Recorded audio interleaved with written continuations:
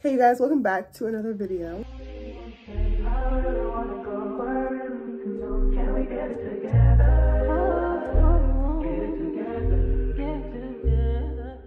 In today's video, we're talking about how to attract love into our lives. In this video, I want to go over a few of my manifestation experiences as well as some practical advice. I want this to help as many people as it can when it comes to attracting love. I love love so much. Like it is my favorite topic to talk about. It's my favorite thing ever, the feeling, just everything about love. So go ahead and get you some tea and let's sit down and chat about this. So when it comes to law of attraction and when it comes to attracting things, we don't believe in bad karma. We don't believe in bad energy. So therefore we don't want to attract that. And in order to avoid that, we have to follow some rules, okay? And the main rule, you cannot attract somebody that is already in a relationship you guys are simply not aligned right now. If you try to attract someone who's already in a relationship, you are going to get some kind of karmic repercussions for that. You know, you can't just step into somebody else's connection and ruin that. It's possible, it can happen, but I do not advise it. I do not encourage it. It's absolutely negative energy and we don't want to do that to attract love into our lives. That does not ultimately make us happy. So let's not do that. Let's not think about anybody who's in a relationship. You guys are simply not aligned, okay? So let's get into it. I want to tell you guys about a few of my experiences that happened in high school and after high school. So in high school, for example, I got every single person that I wanted. Like I was attracting them all and it didn't matter what grade they were in. I came in my freshman year of high school and I attracted plenty of seniors. I attracted football players. I just was like getting them, like literally getting them, just attracting every single one. And I want to say the main reason for that is my confidence. Even after high school, I've had a lot of experiences where there are people I see or even influencers. I would see them and I would attract them some way, somehow. It's something about that confidence that you have when you know. So let's really get into it. When it comes to manifesting, whether that's love, whether that's career, whatever it may be, there is nothing complicated about manifesting. Manifestation is simply knowing. You should have absolutely no doubt when you have a deep knowing like that. What do you believe? What do you know? All the affirmation, visualization, all that stuff, yes, it helps you to tap into that knowing. But honestly, if you have to tap into it, you don't know enough. You don't know deep enough. You're not 100% confident enough. That's how manifestation works. You have to just have a deep knowing. I always say I don't want to make a ton of videos about manifestation because it's really that simple.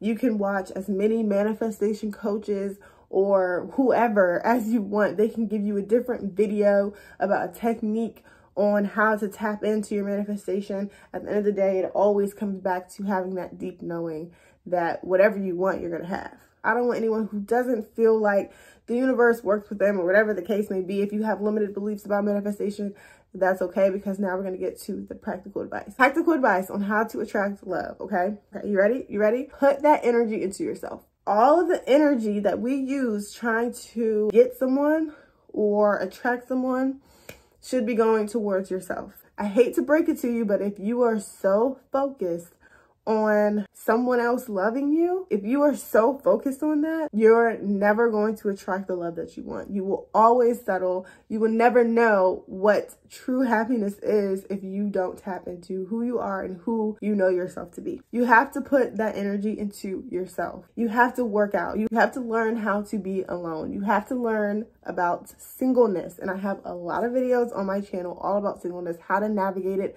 how to get through the lonely seasons. Trust me, because I am there. I'm in my single season. And that doesn't mean I'm not attracting love. Just because I've been single for a while doesn't mean I'm not attracting love. It just means that I am happy in my singleness and I'm still trying to find myself so that I'm able to attract the right partner, which is ultimately what I want you guys to do. It's simply by being so okay in your singleness that you don't need anyone to make you feel good. All you need is yourself. And of course, we want other people to make us feel good because it's our human nature. And believe me, we will get there. Believe me, it will happen as soon as you tap into who you are and accept yourself, okay? And I've always told people, everyone should have a period where they live by themselves, okay? If you've been in a relationship for a long time and you've never had a chance to be by yourself, I personally don't feel like you can truly love that person until you let go and learn to love yourself, until they can let go and learn to love themselves. It's a hard truth, but it's real.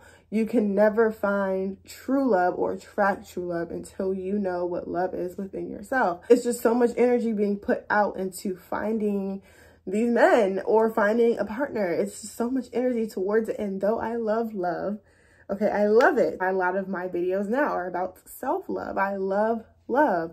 But if you are single and you want to attract love, chasing people has run its course. It's no longer chase someone, especially if you're a woman. I'm sorry.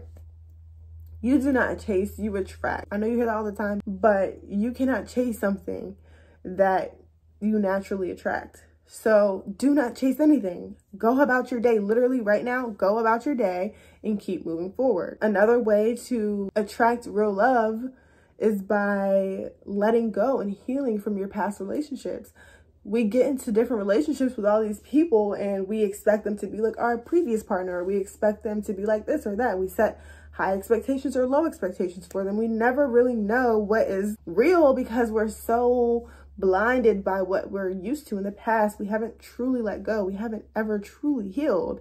So ultimately, we're hurting ourselves by loving someone while still thinking about our exes. We can't choose to go love somebody when we still love our ex, okay?